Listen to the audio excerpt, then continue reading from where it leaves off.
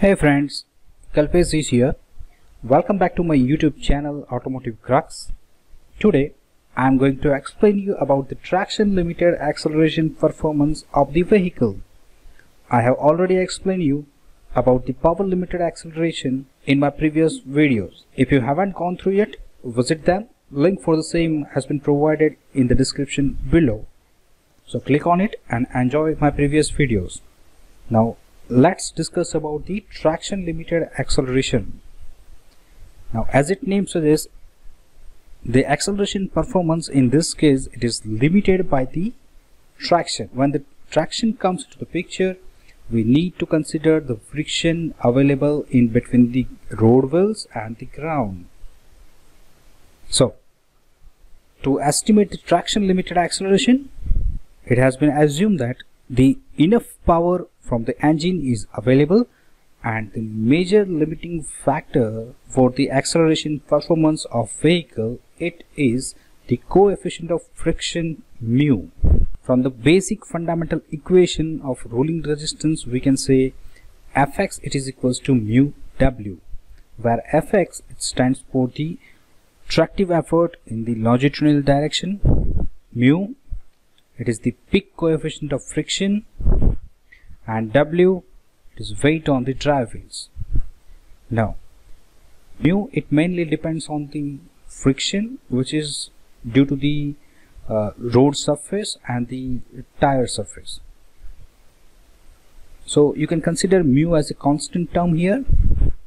Now the w in the traction limited acceleration w it depends on the static and the dynamic load due to the acceleration and transverse weight shift due to drive torque. Now, now static and dynamic load due to the acceleration that we have already seen during the discussion of dynamic axle load in my previous video. So, whenever we required to calculate this static and dynamic load due to acceleration we can adapt the expression from the previous theories.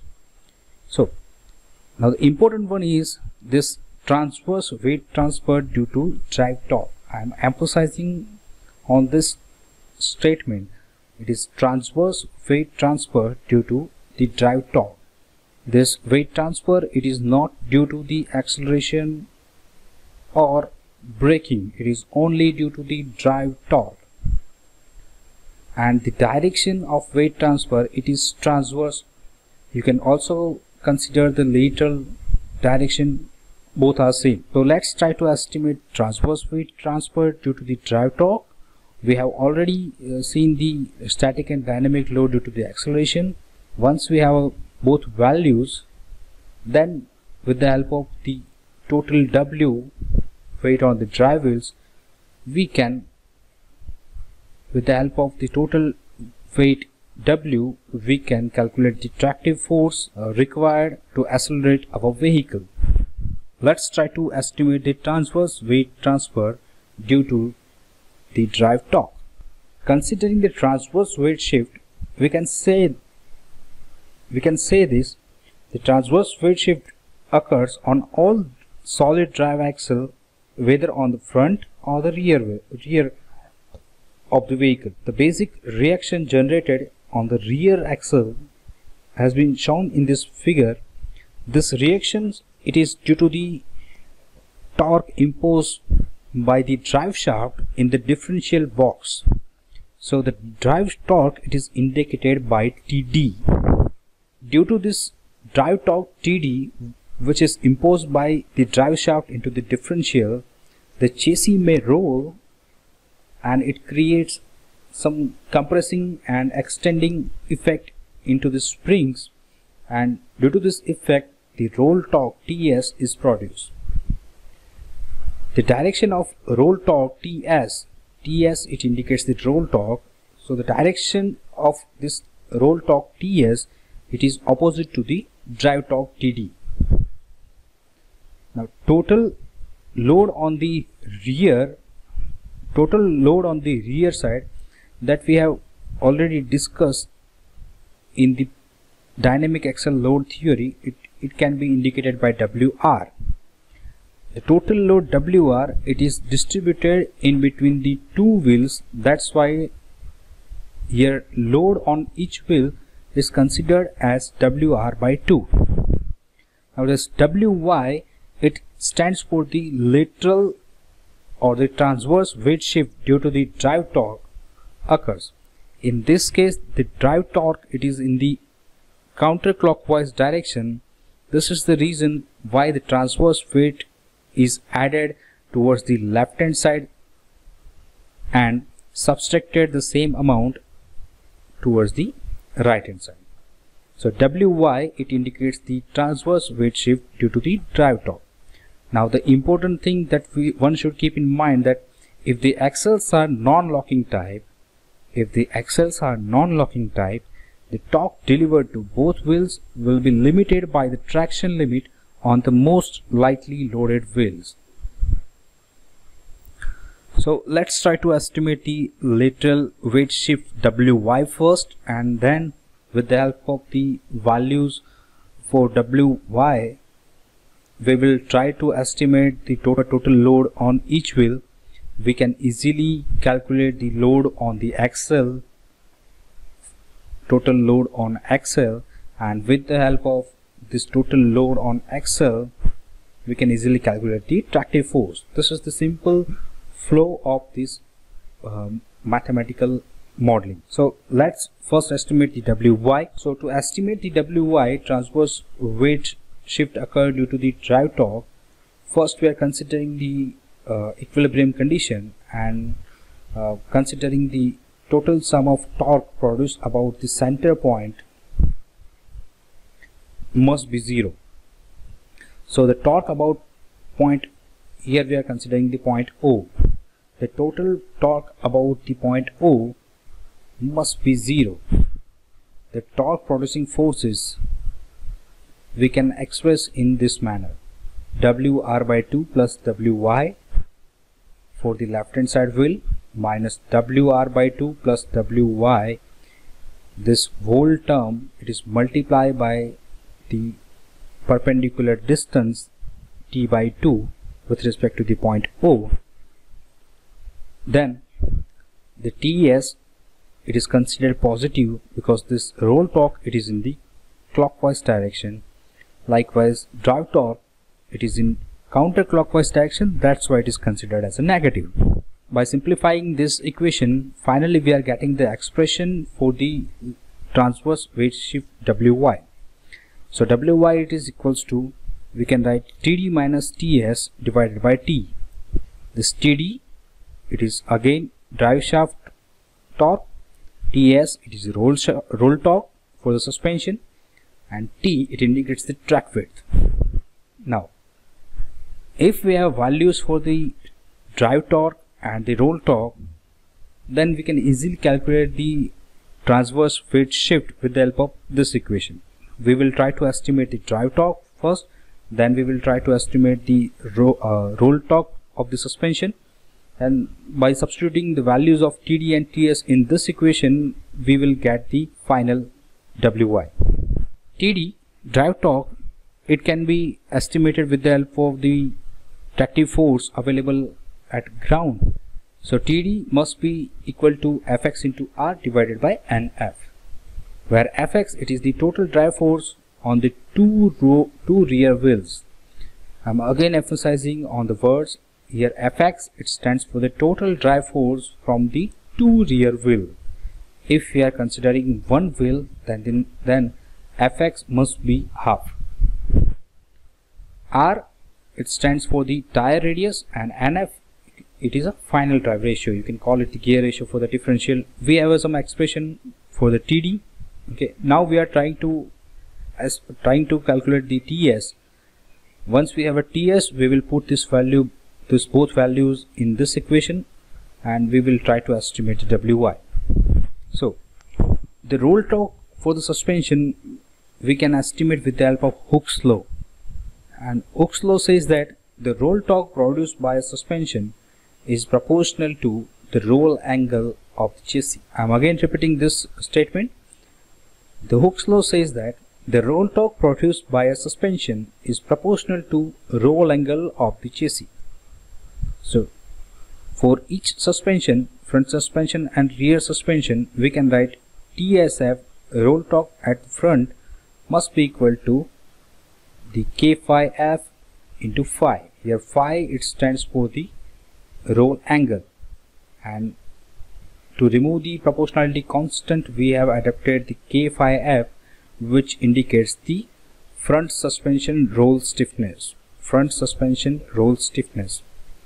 Likewise we can write for the rear suspension roll torque TSR must be equal to K phi R into the phi and this k phi it indicates the total roll stiffness or you can write overall roll stiffness which is the summation of front roll stiffness and the rear roll stiffness. It's very easy to understand. As we have considered the uh, rear drive or the rear solid axle we are concentrated on rear su uh, suspension roll torque only.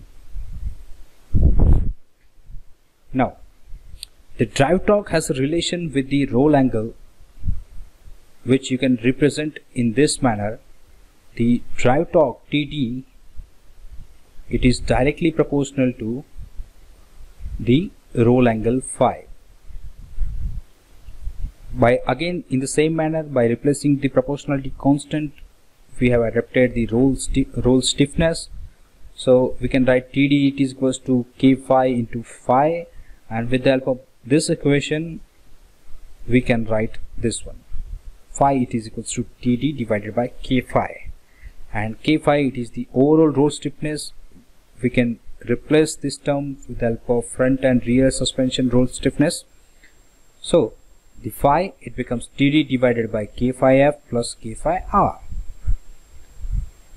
Now with the help of previous equation rear suspension roll torque rear suspension roll torque must be equal to k phi r into the phi where phi it is now replaced with the help of the above equation td divided by k phi f plus k phi r. Now we have a values for both td in terms of fx and tsr in terms of this td.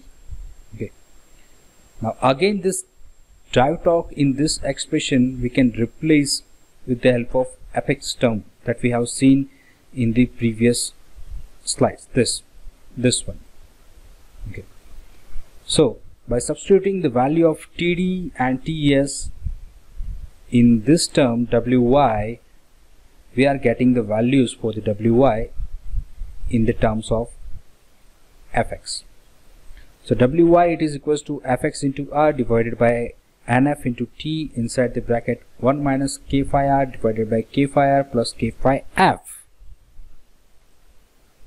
By simplifying the equation for this wy, finally we are getting this term. This is, we can say, transverse weight shift due to the drive torque. So, the transverse weight shift due to the drive torque, it is equals to fx divided fx into r divided by nf into t k phi f divided by k phi now this Wy it gives the magnitude of load, lateral load transfer as a function of tractive force and the other vehicle parameters like uh, wheel radius, final drive gear ratio, track width and the suspension stiffness okay?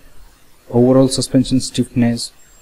The net load on the rear axle during the acceleration will be static plus its dynamic component this we have adapted from the theory of dynamic axle loading condition.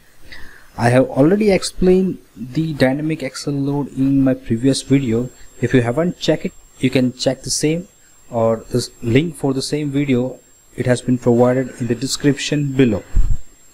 With the help of that fundamental concept, we can write WR it is equals to W inside the bracket B by L plus AX divided by G into h by L. Now focus on this term because during the dynamic axle loading condition the equation be in terms of minus. Here we considered in the previous theory it is minus because in that case we have considered the gradient resistance and it is the resistive force for the movement of the vehicle that's why it was negative in that condition here this WR it is the dynamic uh, it is the load load transfer due to the acceleration.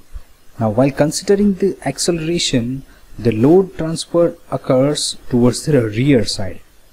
And that's why we need to consider as a plus as an additional weight on the rear side so this is the reason why we consider plus here instead of minus so this WR it equals to W into B by L plus Fx divided by mg into h by L.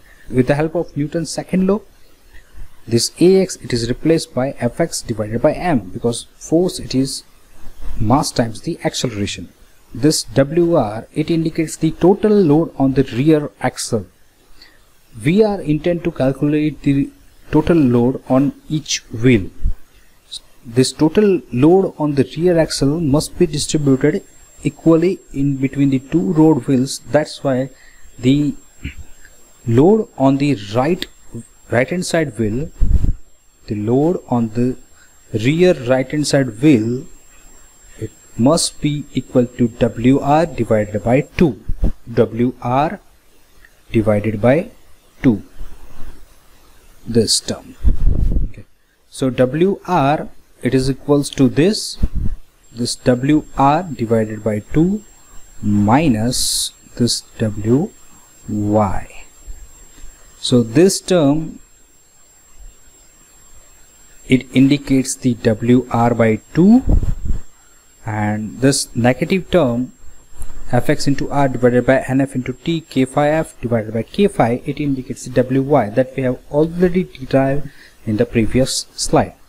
So this expression we can say it indicates the total load on the rear right hand side wheel. This. With the help of fundamental equation fx it is equals to mu w this indicates the estimation of tractive force considering the coefficient of friction in between the uh, tire and the road and the overall load on the axle. Considering the two road wheels this coefficient of friction that will be double that will be double. So fx it is equals to twice into mu wrr by substituting the value of wrr from this equation from this equation we are getting the final expression for the fx tractive force. And with the help of fx we can easily uh, calculate the acceleration performance of any vehicle. Okay. While considering the traction as a limiting factor we need to focus on the coefficient of friction mu thank you thank you so much guys. Uh, if you like this video please don't forget to subscribe this channel